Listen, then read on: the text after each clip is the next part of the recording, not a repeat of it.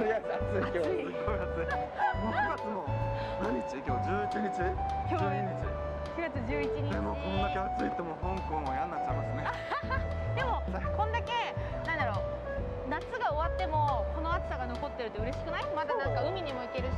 あそうねそうそう。今日はう皆様雨も降っておりませんので傘なしでセントラルを今から上のミードレベルの方に上がっていくところなんですけどここ見ていただきたい。ボーイングさん。バーガーよね。そバーガー好き。う日本人の方が経営されてる。和牛のバーガー屋さんです。めちゃめちゃ美味しいしボリューミー。めっちゃボリューミーよな。なんかついてきたね。もう食べたいぐらい。うん。早速食べたいぐらいなんですけどもうちょっと。もうちょっと歩き回って。双方の方行く？双方の方行きますか。う。ん双方の方。この辺はものすごくバーとかご飯屋さんとかが多いエリア。しかもおしゃれなんです全部。すごい分かれるじゃんうちら。仲悪そう仲悪そう。仲悪そう仲悪そう。じゃあ公平を立てようと思ったの背高くこう。あってことそうそうこっちにね公平背高そうじゃないですか。私が言ってるバーバーここはい。こっちどっち行きましょう右右行こう。か右行きます。そして渡ります。この通りすごいいろんなお店が並んでるんです金曜日とか今日。の夜そう今日土曜日なんで絶対土曜日の夜もすごい。あと絶対ハッピーアワーがある。ハッピーアワーをみんなここでして南海村に行ったりとか、まあ、昭和の方のクラブに行ったりとかみんなこことか。若い子たちはこの辺でみんな。皆さんステーキ屋さんとかアルゼンチンステーキが流行っててそうねポンポンと見つけることができます。この通り。ここもね新しくできたあのバター。どれ？これ？ここあのランドマークにね入ってたケーキ屋さんなんですけどここにもお店ができて。これ お店過ぎちゃったけどこれですねこの赤い壁の方。ここの上もちょっととろっと回ってみなあかき氷屋さん？あシャリシャリも。かき氷屋さんがある。上行く？一瞬そこだけここ上に行きましょう。ここちょろっと左側。坂がすごいからね香港はもう住みたいかって言われたら。そう。運動？運動になるね。でも住むとねどうなんだろうね。この辺辺とか。いやでもいいんじゃない高そう。タクシーがでもすぐ捕まるんで。はいこの通りもですねお店がたくさん並んでるんですが最近日本食屋さんのお店が増えたということで。あそうなんだ。はい。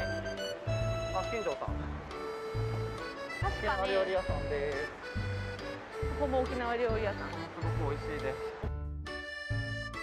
沖縄料理屋さん沖縄料理屋さん美味しい。前お蕎麦が染みました。飲んだ後のあー染みるよね染みました。飲んだ後の締めが。蕎麦ソーキそば最高おお結構香港の人沖縄好きですからね。私ら結構セントラル飲むことめちゃめちゃ多かったよね特に1年目の時もうセントラルでしか飲んでなか本当セントラルしか知らなかったから。ったおおセントラルでずっと飲んでた。あっち戻ろう。戻る？戻ろう。オッケーそうこれがだからこう通りで後ろにもこう広がってるんです。ここも有名だよねあここあれだよねあのワンちゃんにもあるとこあそここの間行ったんですよあのカポっていうところ。絶対あなた好き。本当？うん絶対なんでえなんかそのイタリア系だっけ？あんたね好きやなんかあの店員さんのあのイタリアンっぽい感じとか。ああイケメンってことで映画？いやあのイケメンというかあのほらあのイタリアの人だなっていう接客？すごいなんかあのあここら辺イタリア料理多いですね多いですねうんここだってあれだよねグリークレストランあそうなんだここも美味しそうサントリーニとおしゃれなお店がいっぱいよ美味しいお店もいっぱいで私はねあっちにね戻りたいここ下がってみようかこれ下がる香港のここのセントラルはめちゃくちゃこう柵があるからエスカレーターが何個かあるのよね。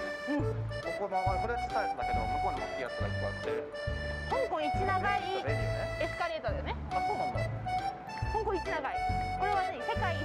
アジア一？世界一。やっぱ世界一だ。ほら世界一なのこれ世界一世界一長いエスカレーターだそうです。の私たちはその横を 歩いている。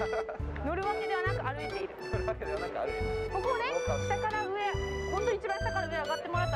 で観光ですからね。確かに。こそれでも楽しいかもね。ね。いろんな店があるし私もしあの友達か家族が来たらここをコースに入れる。やよコースに私今までしてなんか観光時にエスカレーターがされたら、普通に切れる。切れんの私のガイド。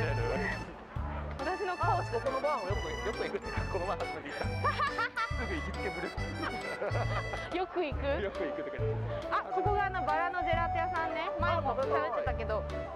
た食べたことないけどね。ああみんなインスタに上げてるよねこれ。映えるってやつですね。なんか香港は結構映える量多くない？好きよね映え。香港人の女の子が特にそのインスタ映え的なやつが、まあ、日本人の女の子もそうかしら。日本もそうだけどまた違う形の映えあーでもそうかも。日本人ってちょっと逆に嫌がるもんね。そこまでそうなんか映え映えしてる生活スタイル。なんていうの？ライフスタイル感を出したい。くない？日本って。イメージない？あるあるあなたのインスタもあれだよね。私でもさコテコテの映えじゃなくない？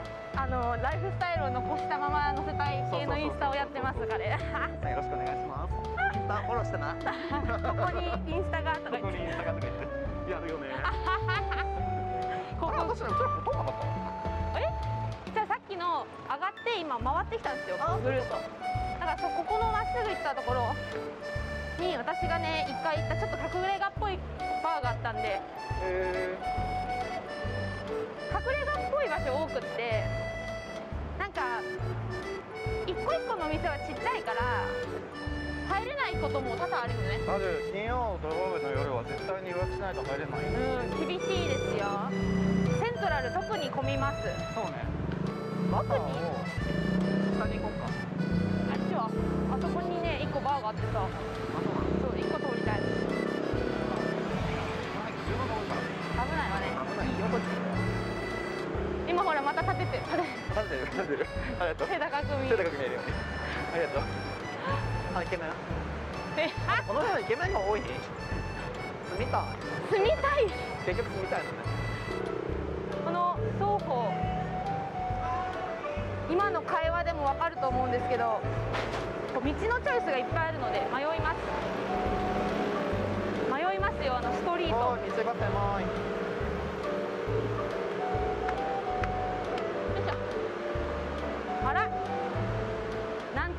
行列に。あここかき氷屋さん。それ言ってたよね。めっちゃ行く。めっちゃ並んでんじゃん今日。すごい。ここ日本の氷を使ったかき氷屋さんで。あこんのよくな大きいの。こんな大きいやつ。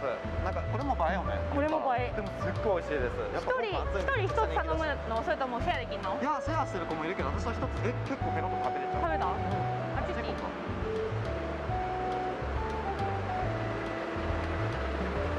どっち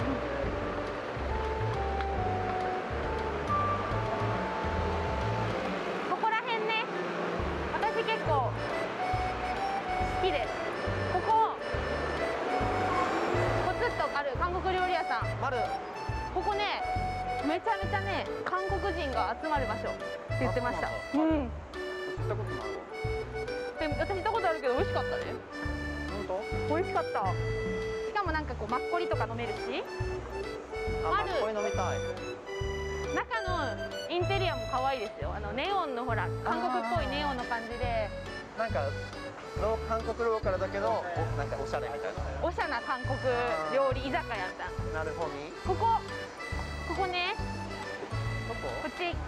ここ上がっていただいたら博物館？ミュージアム？うのところに行くんですけど下がっていただいたらここがあの有名な PMQ です。PMQ の中にはなんて言ったらいいの？ハンドメイドのお店だったりおしゃれなね。とりああとお酒屋さんだったりバーとか。バーとかあとちっちゃいお店ちっちゃいエキシビジョンとかうん。展示会とかそういうハンドメイドのお店とかが。なんかたまにすごい可愛い小物屋さんとか。あるね。あるのアクセサリーとかめっちゃ可愛い。うん。ここにねもう一個。上上が